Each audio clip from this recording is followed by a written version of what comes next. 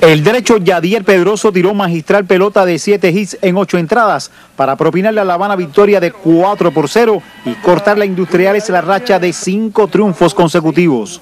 Pedroso comenzó las primeras entradas apoyándose en lanzamientos por encima de 90 millas y a partir del cuarto mezcló con rompimientos fundamentalmente con el tenedor. Este es un equipo que le pega bastante a la ola.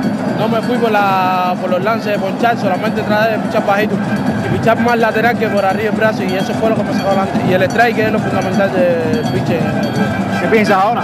Bueno, que el equipo lleve esto, a ver si puedo pichar el domingo el, el quinto, el séptimo juego para ver si puedo decidir la serie. Importantísimo triunfo para La Habana que mañana saldrá por el empate. Este es un estadio muy difícil para el Pejoco. Y si hoy ganamos, mi equipo ahora de la autoestima sube. Veníamos de San José a perder dos en un club y verdaderamente dar 9-0 después de perder dos es importante para el equipo.